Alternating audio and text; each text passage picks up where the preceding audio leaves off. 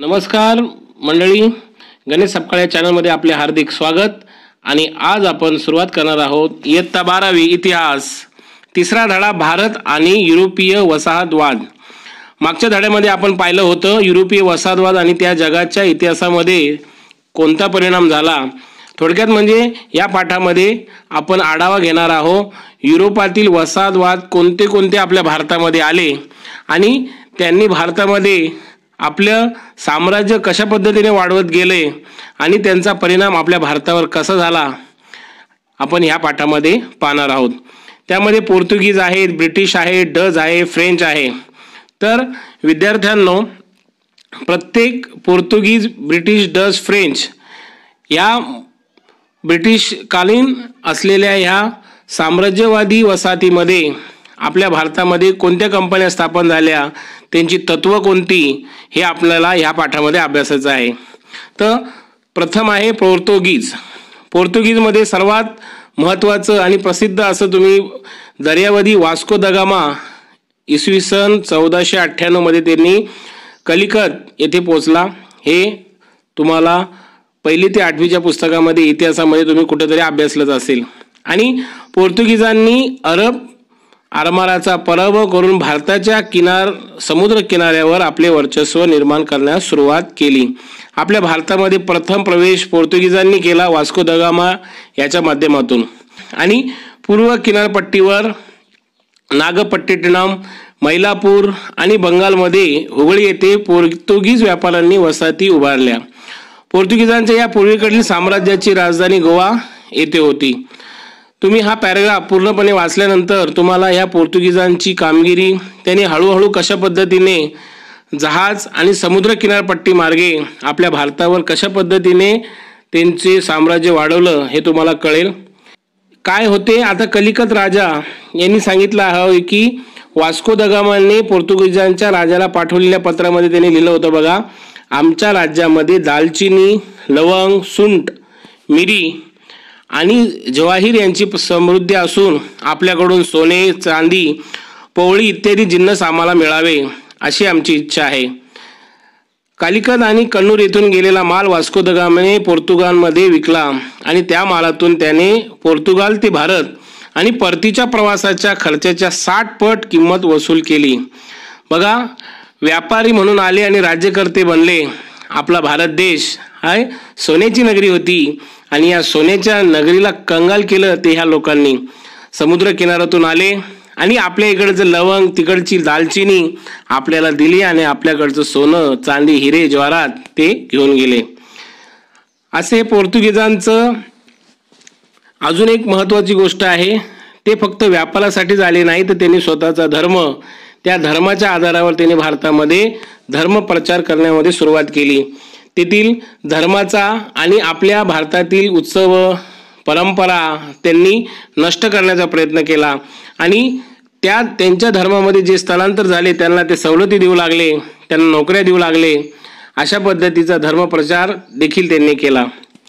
दुसरा आहे British. British जग जाहीर आहे आणि आपल्या सर्वांना ब्रिटिशांनी आपल्याला कशा प्रकारचा त्रास दिला आणि कशा प्रकारची सुरुवात केली?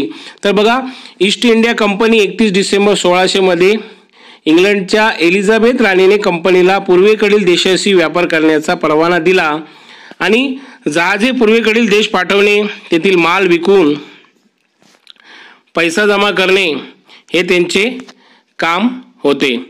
बघा त्यांच्यामध्ये इंग्रजांच्या काळामध्ये सुरुवातीला इंग्रज अतिशय नम्रतेने वागत असत आणि नम्रतेने बोलत असत.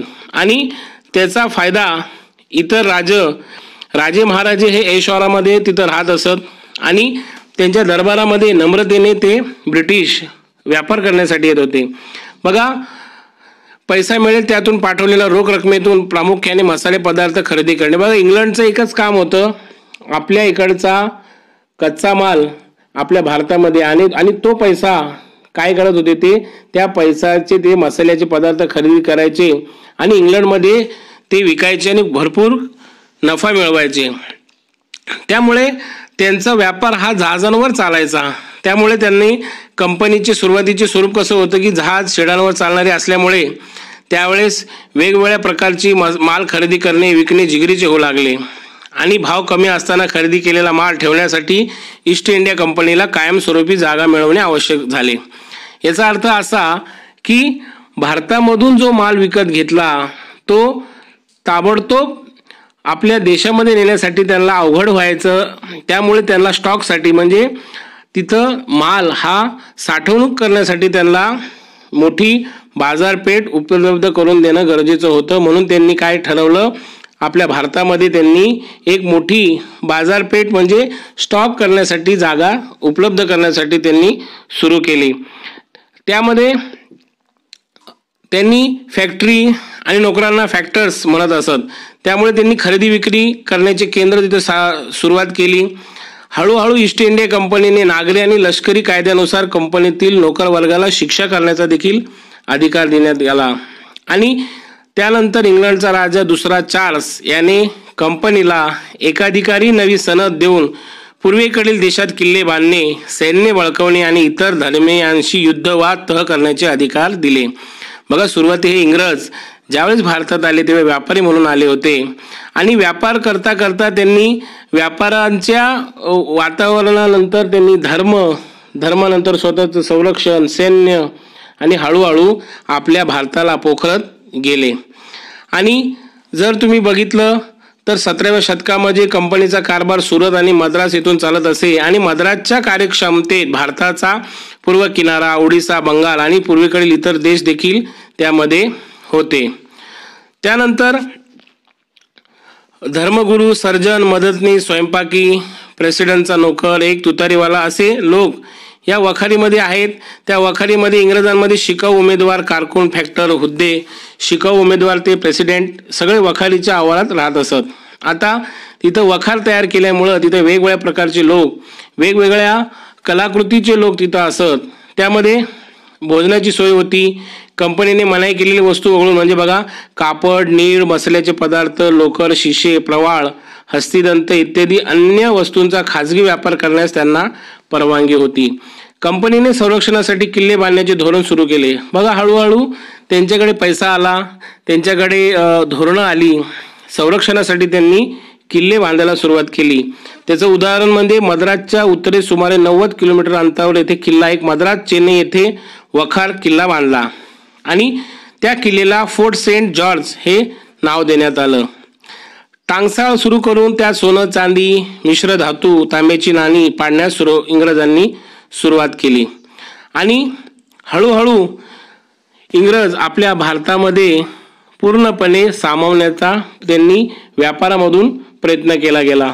मुंबईमध्ये जर बघितलं मुंबई बेट आंदोलन म्हणून दिले गेले. चार्ल्स अब्राहिम शिपमन याला पाचशे सैनिक देऊन मुंबईचा गव्हर्नर नेमले. सोळाशे पासष्टमध्ये मुंबई सर्वार्थाने इंग्रजांच्या ताब्यात गेली. मुंबईमध्ये मुंबई माहीम परळ वडाळा वरळी शिव आणि माझगाव या सात बेटांचा समावेश होता. बघा भारताला सर्वात सोन्याची नगरी म्हटली जाते आणि त्यात मुंबई हा सगळ्यात मोठा खजिना इंग्रजांनी ओळखला आणि इंग्रजांनी मुंबई माहीम परळ वडाळा वरळी शिव माझगाव अशी सात बेटांमध्ये पूर्ण माल हा घेतला गेला विकल्या गेला आणि तेथील आवक जावक ही जहाज जहाजामधून केल्या गेली. आजही तुम्ही जर गेला तर इंग्रजांची आठवण तुम्हाला तिथं आजही तुम्हाला दिसेल.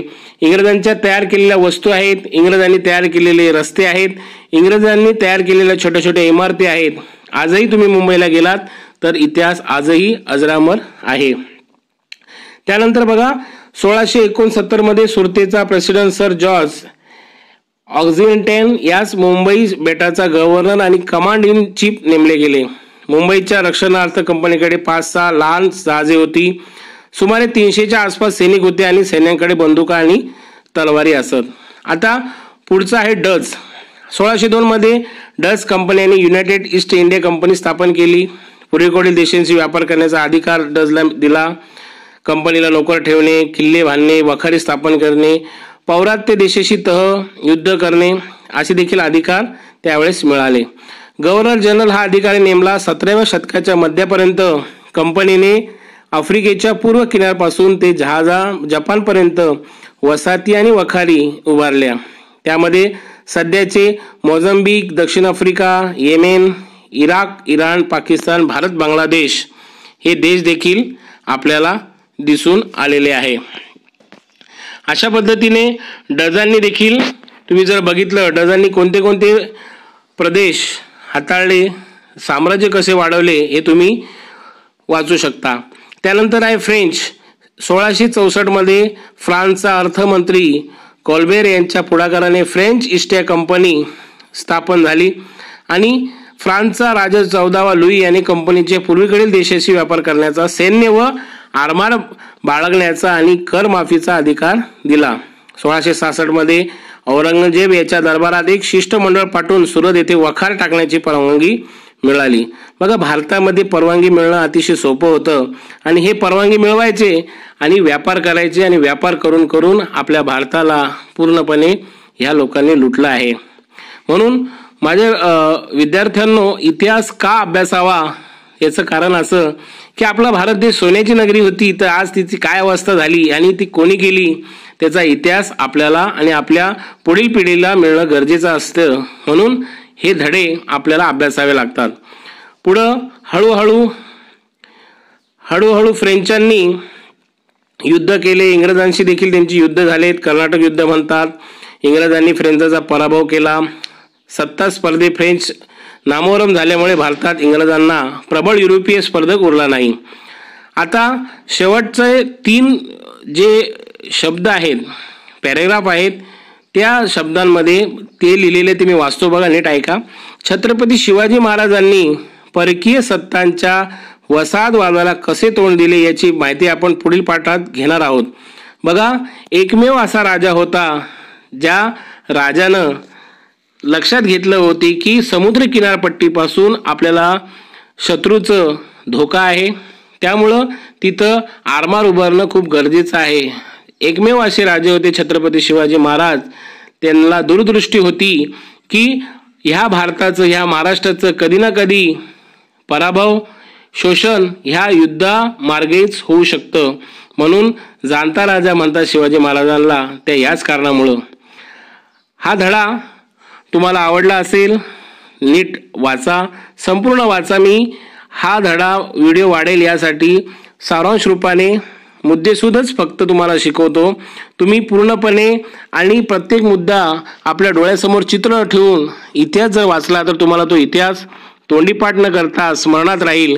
आणि हा स्मरण करून आपण आपल्या भारताचा इतिहास भविष्यामध्ये कशा पद्धतीने पुढं करता येईल याचा अभ्यास करणार आहोत. सर्वांना हा व्हिडिओ शेअर करा लाईक करा. चॅनल सबस्क्राईब करायला विसरू नका. पुढील धडा ऐकण्यासाठी लवकरात लवकर विद्यार्थ्यांनी हे चॅनल सबस्क्राईब करा. जय हिंद. वंदे मातरम.